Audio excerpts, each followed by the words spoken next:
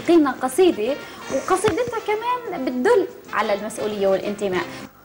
سرق المحتل أرضي وأرض أجدادي. أين سيفك يا خالد؟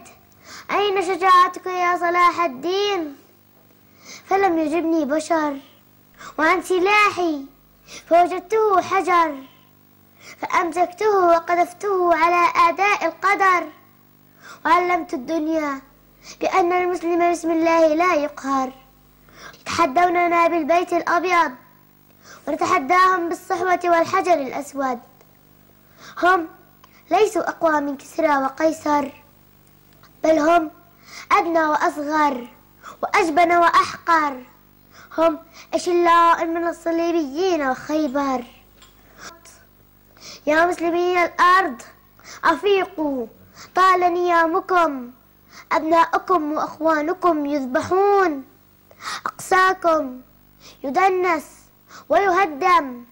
برافو زقفي زقفي لصديقتنا لارا.